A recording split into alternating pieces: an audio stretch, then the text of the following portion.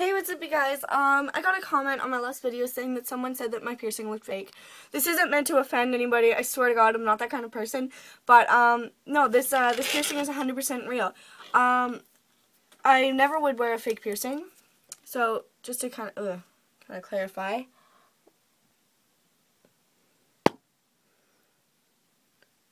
There, there's a hole there. And then there's another hole there. Um, whoever would wear a fake piercing is, it would probably only work really well for Halloween or if they're trying to get used to an actual piercing before they get a real one. Um, um, that is what I did with this one, but I did it over the weekend. I only did it on Friday night, and then I got it actually pierced Saturday night. So, um, yeah.